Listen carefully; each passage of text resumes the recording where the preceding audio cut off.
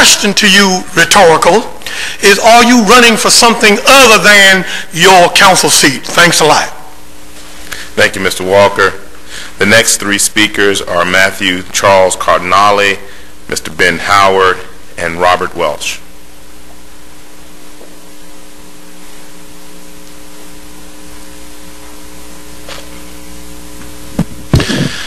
Hey everybody, this is uh, Matthew Charles Cardinale.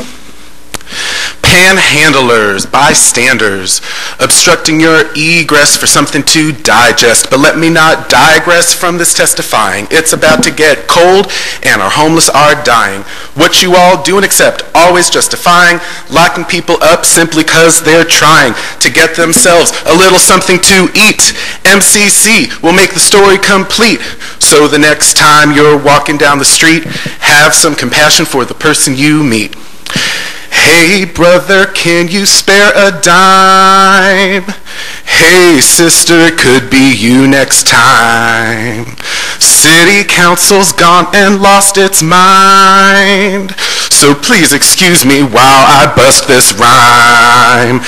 Panhandlers, bystanders of a capitalist system predicated on victims. The homeless have a message, but do you all listen as you make your draconian decisions? Do you realize that we are all one, materialized from the rays of one sun, and that you'd criminalize the beggar, God's only son? Oh, blinded by the fog of a capitalist nation. You say incarcerate, I say liberate. Y'all say retaliate, I say cohabitate.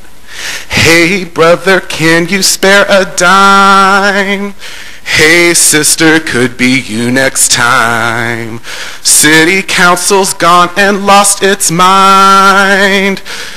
Being homeless shouldn't be a crime. Thank you.